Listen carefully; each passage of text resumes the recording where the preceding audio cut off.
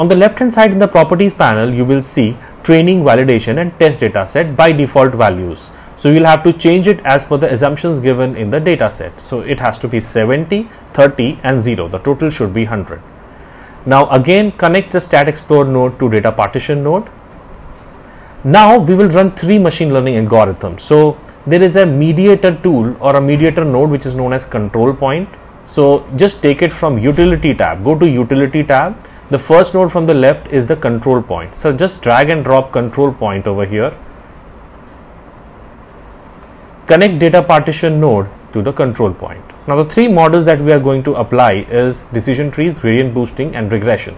So just go to model tab and drag and drop decision trees.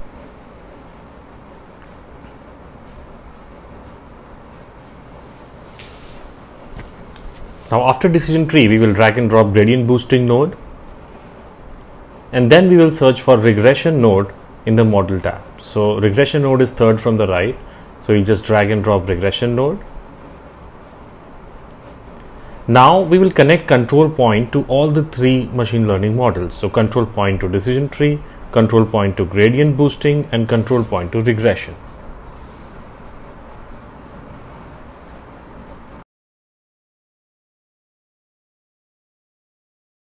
Now we will go to the data assumptions which are given for each of these models. So for example, for decision tree, we have to first change maximum depth from 6 to 10, leaf size from 5 to 8 and number of surrogate rules to 4.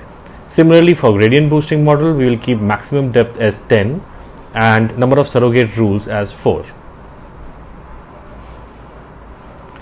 Now for regression, it is given in the assumptions that we have to use stepwise regression. So we will go to the properties panel and then we will search for selection model. So we will change it from none to stepwise. After these initial settings are done, we will go to Assess tab and then go to model comparison node. We will, so we will drag and drop model comparison node and we will connect all the three machine learning algorithm nodes to this model comparison node. After this, we will right click on model comparison and click on run. Click yes. Now we will see the results of model comparison. If you see carefully, there are three windows. Below is the fit statistics. Now, as per fit statistics, regression is the choice of model amongst the three models based on misclassification rate as the selection criteria. Now, this is basically the misclassification rate which is uh, the selection criteria by default.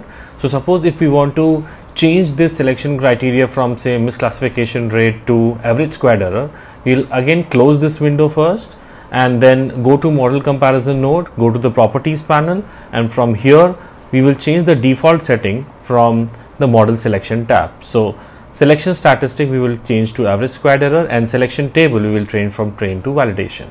Then again we will right click we will click run we will click yes. And now our selection statistic is changed from misclassification rate which was default to average squared error.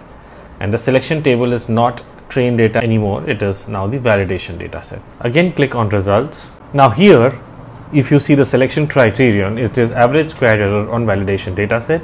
Again regression is the choice of model amongst the three models. Now we will go to the output window. We will maximize the output window and we will see the fit statistics table which we saw over there. So again here regression is the choice of our model based on average squared error. Now we will go to data role is equal to train. Now this all these statistics are basically on the train data set. Say for example average squared error, you have ROC index, we have gain Gini coefficient, cumulative lift, maximum absolute error, misclassification rate. So all these statistics are there for the three models. If you go to data role is equal to valid, these are the statistics for the validation data set. Average squared error, ROC index, again gain, Gini coefficient, cumulative lift, maximum absolute error, misclassification rate. So these are given for all the three models, regression, tree and boosting. And finally, this is a very important table, event classification table. This actually gives you the number of true positive, false positive, true negative and false negative observations for each set of data that is train data set and validation data set for the three different models. For example, for decision tree, The validation data set contains 40 true positive observations whereas train data set contains around 105 true positive observations. Now this event classification table is very useful for us to understand various metrics like accuracy, precision, recall, specificity. So we will just discuss all these four metrics one by one in detail. Accuracy is nothing but true positive plus true negative upon true positive plus true negative plus false positive plus false negative. Precision is basically true positive upon true positive plus false positive.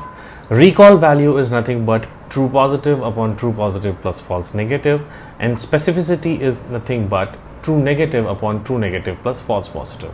So these four optimization metrics are very important for us to understand any end-to-end detailed machine learning project. In our next video, we will see how various tools of statistics can be used in one dataset itself. For example, we can use independent sample t-test, paired sample t-test, one-way ANOVA, two-way ANOVA, regression, linear regression, logistic regression, chi-square test of independence, and all these models like post hoc test, Tukey's test, Fisher's LSD test, and of course the residual analysis including Cook's distance measure, studentized deleted residuals, and the leverage value method. So all this and more we will try to figure out in our next video.